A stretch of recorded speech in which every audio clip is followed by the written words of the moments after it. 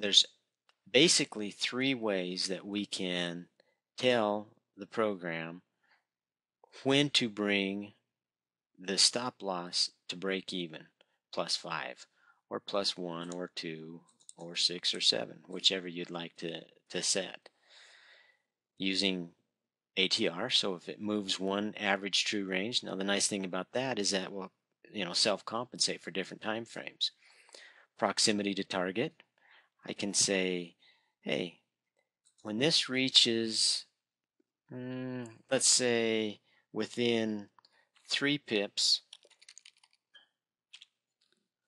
of our first target, bring my stop to break even plus three. Or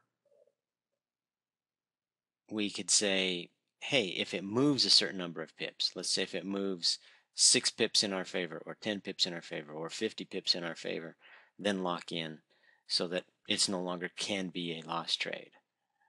So I'm going to update this. Right now what we've told it is we've told it, you know what, when it moves within three pips of our target, then move our stop loss to break even plus three pips.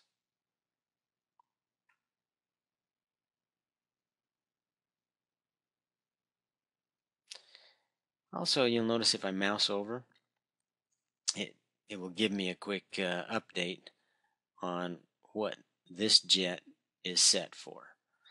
15 minute setup, 555 on the entry and, and first two stops in a one minute.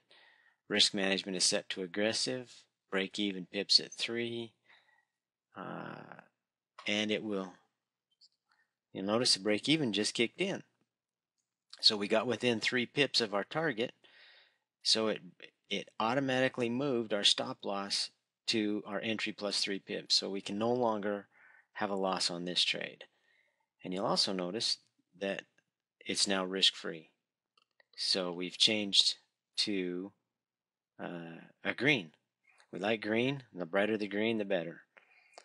Uh, but at this point in the game, this trade can no, uh, can no longer, we have no more risk in the trade.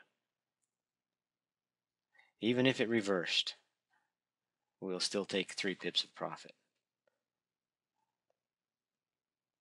And this stop will hold now until the uh, five minute, we get a lower five minute swing high, which would then, the trade manager would continue to follow down the uh, stop loss according to these parameters that we set in our in our stops. Right here. So that's the risk management.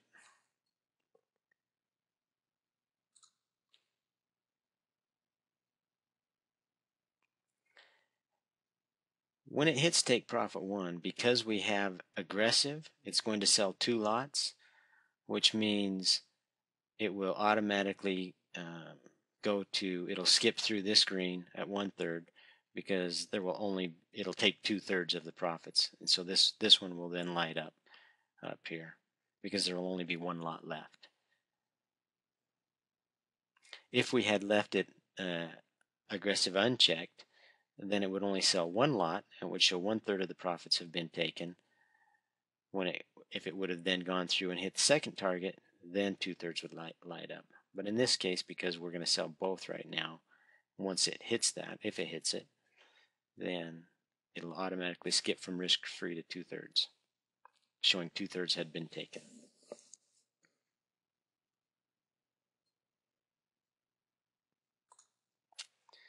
So we've got the trade managers, the global settings tab, and the system information tab.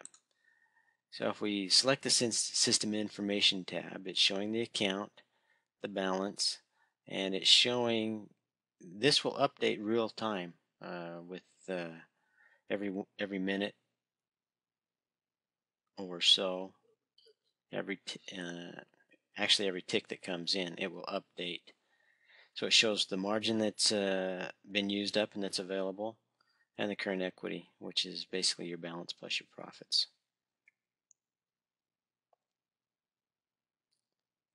Global settings. We've gone through uh, the link of the path and the key. These are, uh, tell you what these are. Entry padding. Basically, when it breaks through a previous support for an entry or an exit, this is how much does it need to break through by for an entry. So you can set this at one pip. Uh, it can be changed for say 0.4 tenths of a, of a pip. Basically, this is how far through that support level does it need to penetrate to trigger an entry. Stop loss, same principle.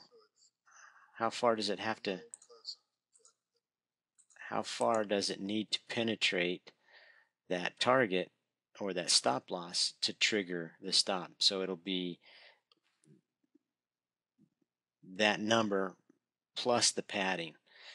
So this also the the trade manager takes into account spreads as well because of the way you know currencies are traded uh, by using bids and bid and ask prices rather than the last prices.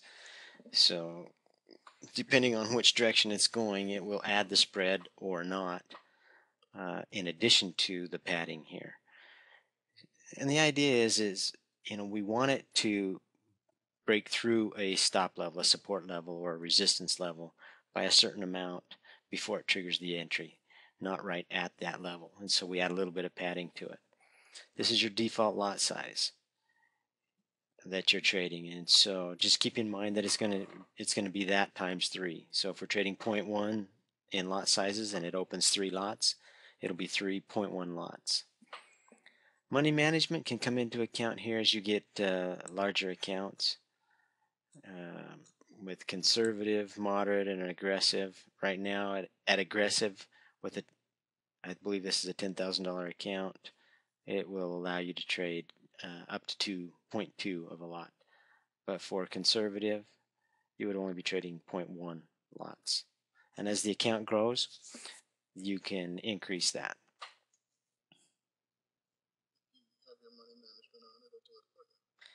And if your money management is on, then it'll automatically increase those lot sizes as your account grows, which is important because sometimes psychologically, psychologically it's hard to do that.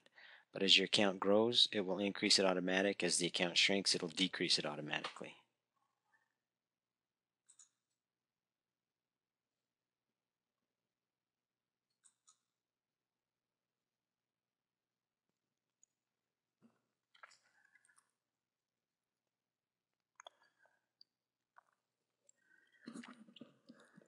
Okay, this is moving down, getting close to our tar profit target.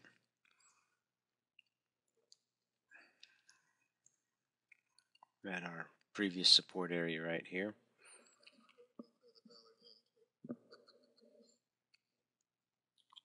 As soon as this hits,